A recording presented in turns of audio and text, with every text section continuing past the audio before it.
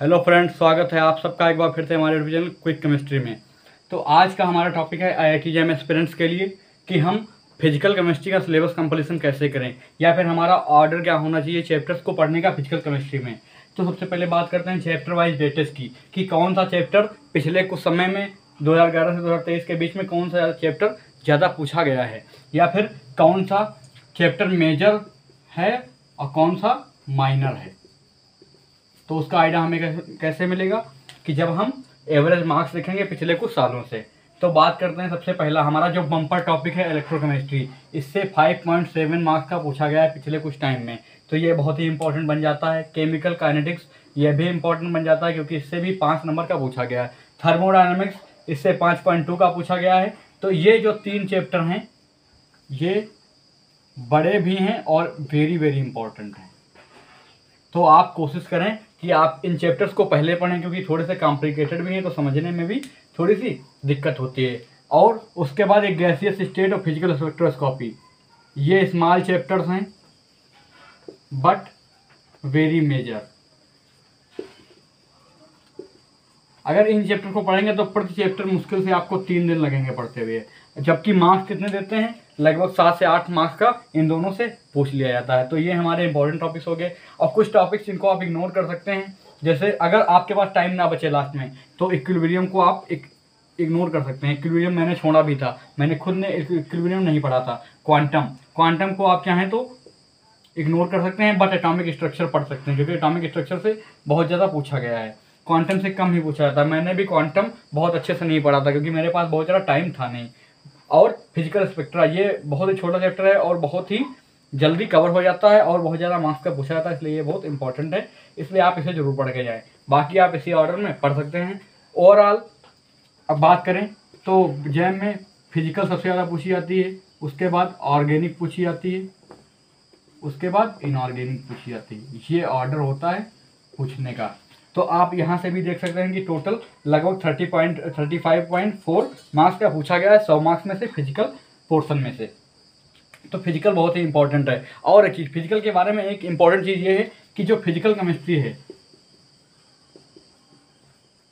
ये किसी को भी उल्टा टंगवा सकती है। चाहे वो टॉपर बच्चा हो, चाहे वो पीछे वाला बैक बेंचर बच्चा हो। क्योंकि अल्टीमेटली फ़िज़िकल केमिस्ट्री में क्या है? कैलकुलेशंस हैं। और कैलकुलेशन किसी भी, किसी की भी गलत हो सकती है, किसी की भी सही हो सकती है। जो टॉपर हैं, वो भी फ़िज़िकल केमिस्ट्री से डरते हैं, क्योंकि होता क्या है? उनकी ऑर्गेनिक इनऑर्गेनिक अच्छी होती है बट बट फ़िज़िकल में उनकी एक कैलकुलेशन क्योंकि बहुत सारी पूरा पूरा पेज भर जाता है कैलकुलेशन से। तो एक अगर कैलकुलेशन में गलती हुई तो पूरा पूरा मार्क्स उड़ जाएगा। तो फ़िज़िकल केमिस्ट्री बहुत ही क्रुशियल है सेक्शन पूरे का। और मैं तो कहूँगा फ़िज़िकल सबसे आसान है, क्योंकि आप जितना टाइम ऑर्गेनिक इनऑर्गेनिक में देंगे, अगर उस उससे बहुत ही आधा टाइम अगर आप फ़िज़िकल में देंगे तो आप इसमें अच्छे हो सकते हैं, क्योंकि फ़िज़िकल में बिल्कुल फार्मूला बेस्ड सवाल आते हैं।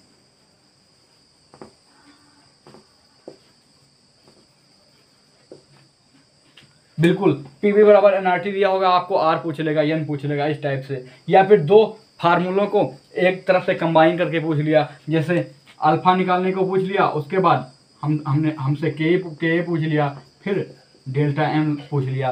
तो यहाँ से क्या है? फ़िज़िकल केमिस्ट्री में इंटरकनेक्टेड फार्मूलाज होते हैं। उनकी सहायता से आप आसानी से निकाल सकते हैं। तो फ़िज़िकल केमिस्ट्री का क्रुशियल चैप्टर है।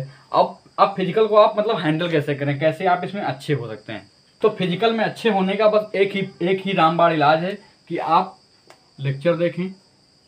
जिस भी कोचिंग से आप पढ़ते हैं लेक्चर और केवल लेक्चर से कुछ नहीं होता। अगर केवल लेक्चर आप देखेंगे तो आपका प्रिपरेशन में कुछ भी नहीं हो पाएगा। आप सब भूल जाएँगे, आपका वो लेक्चर देखना बेकार है। तो लेक्चर के साथ में नोट्स बनाएँ।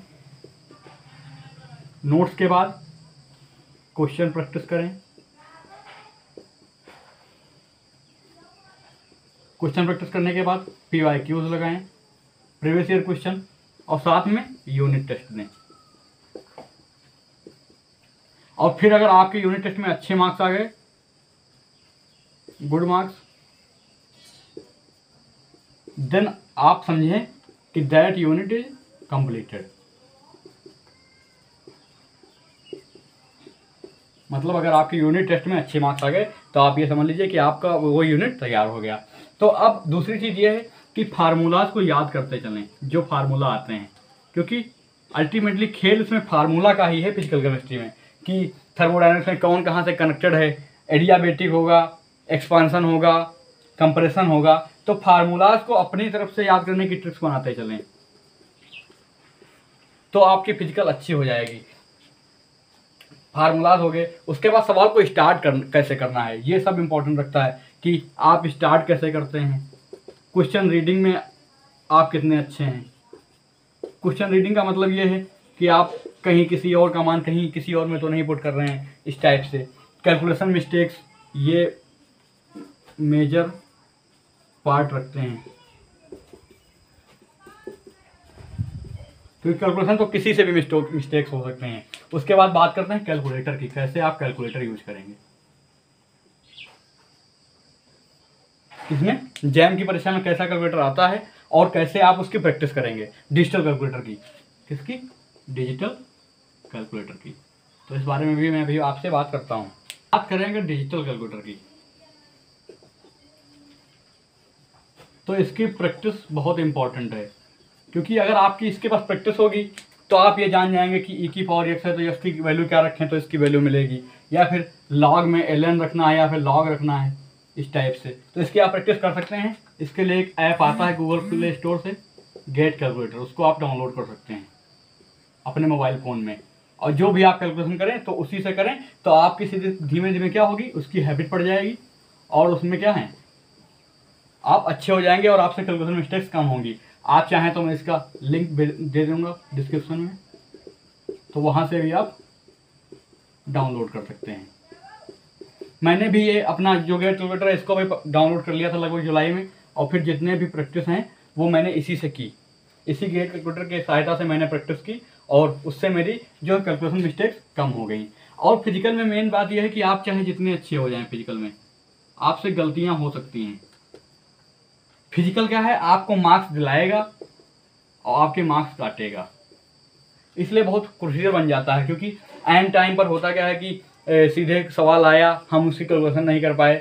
और क्योंकि क्योंकि इसके मार्क्स जो हैं एन में आते हैं तो इसलिए जब हमारे पास ऑप्शन नहीं होते हैं तो इसमें हम मार्क्स खा जाते हैं। दूसरी चीज़, आप कोई भी मान लीजिए हमने कोई क्वेश्चन ए लगाया, किसी भी बुक से या फिर कोई बुकलेट से तो उस क्वेश्चन उस क्वेश्चन के मार्क्स ना देखें ऑप्शन ना देखें। अगर ऑप्शन दिए भी हैं तो ऑप्शन ना देखें। उस सवाल को अंत तक ले जाएँ। मतलब लास्ट तक ले जाएँ। और फिर मान लीजिए वैल्यू आई 2.45 फिर देखें कि ऑप्शन है या नहीं। पहले से ही ना देखें कि 2.45 है तो हम उस हिसाब से सॉल्व करेंगे। आपका मोटिव ये होना चाहिए कि हम एन की तरह सॉल्व कर रहे हैं कि हमें कुछ भी ऑप्शन नहीं पता है, हमें केवल उत्तर हमें निकालना है कि टू टू की point four five minus ten की पावर माइनस फाइव तो इस तरीके से आपको लास्ट तक ले जाना है, हर एक डिजिट को चेक करना है, और ये भी चेक करते चलना है कि कितना राउंड आप तक बोल रहा है। क्योंकि ये भी कई सारी गलतियाँ होती हैं के पेपर में, कि round off to two decimal plus दिया हुआ है, हमने वो नहीं पढ़ा, हमने गलती कर दी इस टाइप से। और अंत तक ले जाएँ, इससे हमें बहुत फ़ायदा मिलता है। तो अगर आप कोचिंग कराते तो आपको मान लीजिए मान लीजिए ठीक है धीमे धीमे। और दूसरी चीज़, आपको सिलेबस कंप्लीसन पर ध्यान देना है। क्योंकि जितनी जल्दी आपका सिलेबस कंप्लीट होगा, उतना ही आपके पास ज़्यादा टाइम होगा कि आप रिवीजन कर सकें। तो मैं तो चाहता हूँ कि मतलब अगर आप मतलब अपनी तैयारी को अच्छा करना चाहते हैं तो कोशिश करें कि पंद्रह नवंबर तक सिलेबस ख़त्म हो जाए। सिलेबस ख़त्म। जिससे आपके पास पूरे पूरे लगभग ढाई से तीन महीने हों। क्वेश्चन प्रैक्टिस करने के टेस्ट देने के और रिवीजन करने के। क्योंकि उससे होता क्या है कि आप हर एक चीज़ पर अच्छी पकड़ बना पाएँगे आप। इसलिए सिलेबस जल्दी से जल्दी ख़त्म करें और लगातार पढ़ते रहें। और ये भी इंपॉर्टेंट है कि जैसे आप पाँच घंटे लेक्चर ले रहे हैं तो कम से कम दो घंटे ज़रूर रिवीजन के लिए निकालें। क्योंकि रिवीजन नहीं करेंगे तो आप भूलते जाएँगे। फिर मान लीजिए आपने कोई चैप्टर पढ़ा, मान लीजिए दस मई को आपने पढ़ा था कोई चैप्टर फिर आपने कुछ नहीं पढ़ा, फिर सीधे आप जो दस जुलाई को वही चैप्टर पढ़ रहे हैं। तो दस जुलाई को जब आप पढ़ेंगे तो मान लीजिए यहाँ पर सौ परसेंट आपने पढ़ा था तो इसमें से लगभग बीस परसेंट ही याद रह जाएगा। फिर आपको अस्सी परसेंट पढ़ने के लिए फिर से लेक्चर देखना पड़ेगा। तो ये क्या है? ये टाइम वेस्टिंग ही तो है। और अगर टाइम वेस्टिंग से बचना है तो आप लगभग पाँच से दस दिन में हर चैप्टर को जो आप पढ़ रहे हैं, उसको आप रिवाइज करते चलें। क्योंकि इससे बहुत ही बड़ा आपको फ़ायदा होगा। ये फ़िज़िकल के लिए कुछ अच्छी बातें हो गई। दूसरी चीज़, अगर आप आपके नंबर नहीं आ रहे हैं इसमें यूनिट टेस्ट में तो आप कोई भी बुक बुक बुक से प्रैक्टिस कर सकते हैं, जैसे के एल कपूर हो गई। और यन अवस्थी हो गई। यन अवस्थी बहुत अच्छी है फ़िज़िकल केमिस्ट्री की प्रैक्टिस करने के लिए।